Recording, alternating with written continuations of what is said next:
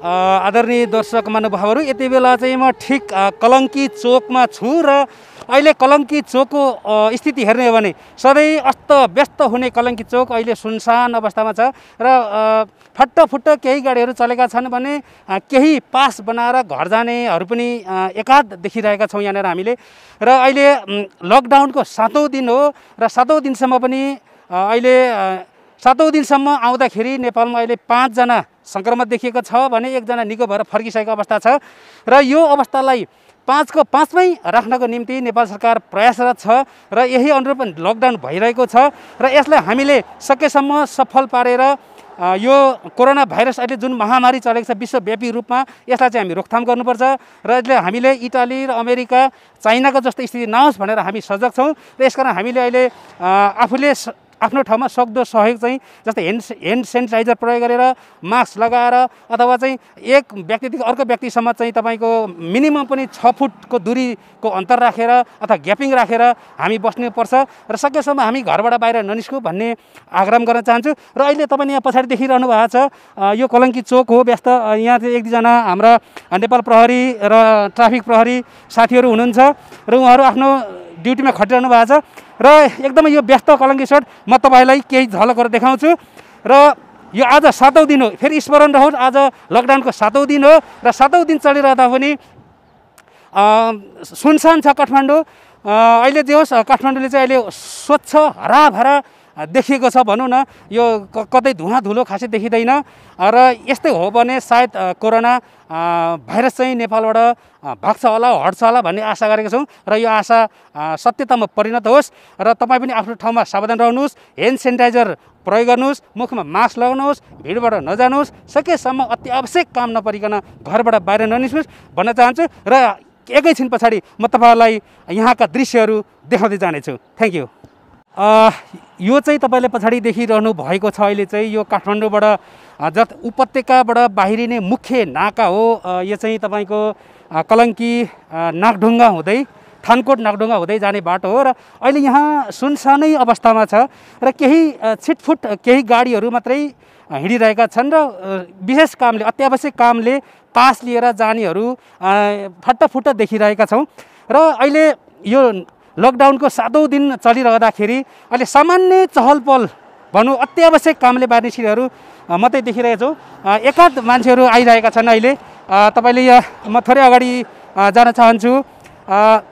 अहिले विशेष गरी सुरक्षा व्यवस्था पनि एकदमै कडा रहेको छ र यो सुनसान यो रोडमा तपाईँको केही पास लिएर गाडी अहिले यहाँ एउटा गाडी आइरहेछ। यो विशेष पास लिएर आएको हो र अति आवश्यक कामको लागि मात्रै बाहिर निस्किनेहरू छन्।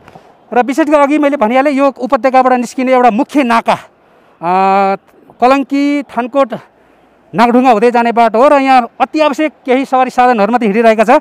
र हाम्रो यति बेला यहाँनिर हाम्रो असाई साहब पनि यहाँ ड्युटीमा हुनुहुन्छ। थोरै एक शब्द उहाँ असाई साहबसँग सोधिहालेँ। असाई साहब नमस्कार हजुर। कस्तो छ सर यहाँ दिनमा कतिवटा गाडीहरू आउट भइरहेछ अहिले? आउट आउट भन्नाले तपाईँको इमर्जेन्सी सेवा बाहेक एम्बुलेन्स खाद्यान्नको बिरामीका हजुर।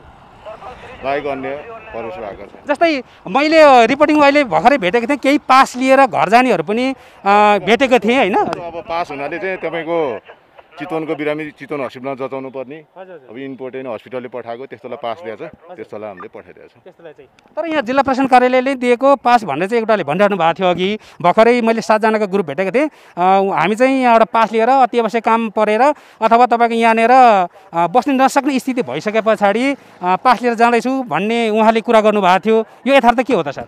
यो चाहिँ थाहा यो हजुर थाहा भएन। यो मलाई थाहा भएन। यो दैनिक कतिवटा गाडी चाहिँ इन आउट भइरहेछ जस्तो सरदर अति आवश्यक कामको लागि। अति आवश्यक तपाईँको खाद्यान्नहरूको दिनमा त्यस्तै पचास साठी असी हन्ड्रेडसम्म आउँछ भनेर खाद्यान्नको। खाद्यान्न एम्बुलेन्स पानी दुध अति आवश्यक गाडीहरू त्यही हस् थ्याङ्क यू सर हजुर अहिले असाई साहबले भन्नुभएको छ अति आवश्यक सवारी साधन मात्रै अ, फट्टफुट्ट केही निस्किएका छन् र हिँडिरहेका छन्। र अझै पनि आज हामी लकडाउनको सातौँ दिनमा छौँ र अहिले तपाईँहरूलाई हामी सावधानी अपनाउन आग्रह गर्दछौँ। ह्यान्ड सेनिटाइजरले प्रयोग गर्नुहोस् र मुखमा मास्क लगाउनुहोस् र हिँड्दा अति आवश्यक काम नभए बाहिर नहिँड्नुहोस् र एकजनाबाट अर्कोजनाको दुरी चाहिँ मिनिमम पनि छ फिट कायम गर्नुहोस्।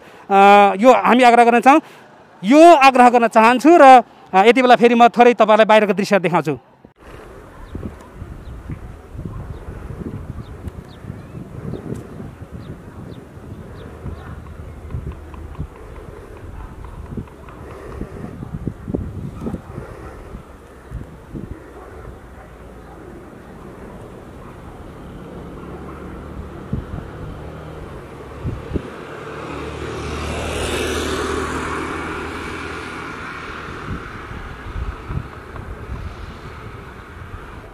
अहिले हामीसँग चाहिँ हुनुहुन्छ उपत्यकामा ट्याक्सी चलाएर गुजारा गरिरहनु भएको एकजना हुनुहुन्छ ट्याक्सी ड्राइभर नै भन्न चाहेँ उहाँलाई तर ट्याक्सी ड्राइभर भनेर उहाँको अपमान गर्न चाहेको होइन मैले। तथापि उहाँले उहाँको पेसालाई हामी सम्मान गर्छौँ उहाँलाई पनि हामी सम्मान गर्छौँ। हजुर म यहाँलाई स्वागत गरेँ। हजुरको नाम? हजुर गङ्गा थापा मगर। गङ्गा थापा मगर। तपाईँ चाहिँ यहाँ काठमाडौँमा ट्याक्सी चलाउनुहुन्छ? हजुर हजुर। विगत कति वर्षदेखि ट्याक्सी चलाउनुहुन्छ यहाँले?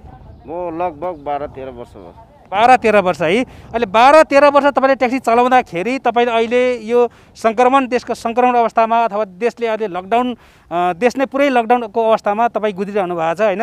कस्तो छ अनुभव अहिलेको चाहिँ तपाईँको? अहिले चाहिँ कस्तो लाग्छ भने नि अब जस्तो अब सरकारले यो लकडाउन गरेको पहिलो सुरुदेखि गर्दाखेरि चाहिँ सरकारले भन्नुभएको थियो अब ठ्याक्कै अब जुन एक्कासी हुन्छ भनेर हाम्रो थाहा थिएन। एकैचोटि अब दस गतेबाट चाहिँ दस एघार गतेबाट लकडाउन भइसकेपछि अठार गते खुल्ने भनेर कुरो थियो। दुई दिनको लागि उन्नाइस गते चैत दसैँ थियो होइन? त्यसको विषयमा चाहिँ हामीले चाहिँ के सोच्यौँ भनेदेखि नि अब अलिक बार होला तर त्यसमा चाहिँ अब पछि एक दुई दिन खोल्ला नि त भनेर हाम्रो कुरा भयो। त्यसमा मन हाम्रो मनमा भयो। त्यस त्यस कारणले चाहिँ हामीले चाहिँ सोच्यो कि अब बिचमा खुल्यो भने हामी जान्छौँ नत्र भए अब त्यो भने असम्भव हो फेरि हुन्छ कि हुँदैन भनेर। अब त्यस कारणले गर्दाखेरि हामी बस्यो। बस्दाखेरि चाहिँ अब चाहिँ अठार गते खुल्छ भनेर कुरा हुँदा हुँदै हिजो हामीले थाहा पायो अनि फेरि अनि बढ्यो भनेर अब एक हप्ता फेरि टाइम म्याच फेरि बढ्यो भनेर कुरो भयो कि। त्यसमा चाहिँ अहिले हामी काठमाडौँमा बसिरहेछौँ।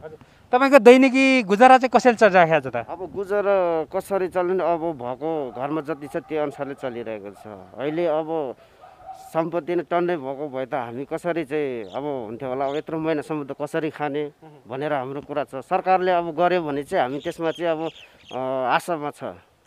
जस्तै कतिपय हुने खानेले पनि आशा गरेको हुन्छन् सरकारको तर्फबाट। हुँदा खानेले त आशा गर्ने स्वाभाविकै हो तर हुने खानेले पनि सरकारले गरिदिन्छ कि अलिकति सरकारले केही पो दिइहाल्छ कि भनेर आशा गरिरहेका हुन्छन् होइन? हजुर।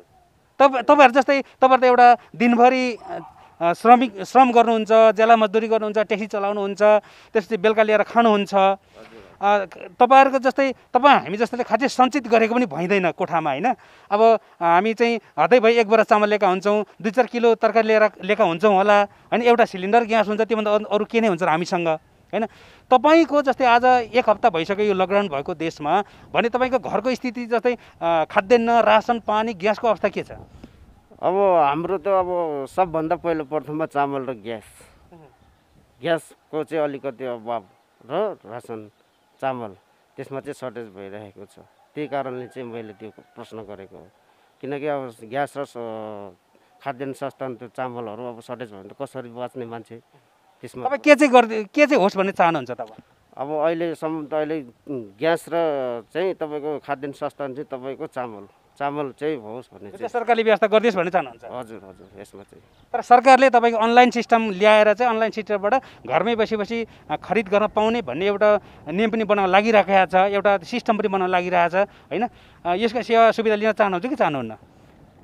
अब उस त्यो सेवा उसले सरकारले गर्छ भने त त्यो अब लिनु परिहाल्यो नि।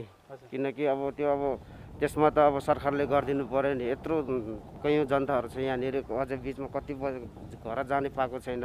धेरैजना छ। त्यस त्यही कारणले त अब त्यो त अब गर्नु परिहाल्यो नि। सरकारले अब यसो हेर्नु पऱ्यो जनताहरू। त्यतिकै भोकै मऱ्यो भने त कोरोना भाइरसले मऱ्यो भने त भरे मान्छेको घरभित्रको लास भेट्यो भने त्यतिकै के अरे खान नपाएर मरेको चाहिँ लास देख्नु नपरोस् भन्ने चाहिँ कारण चाहिँ त्यो हो। हस् यहाँलाई धेरै धेरै धन्यवाद। हस् त हस्।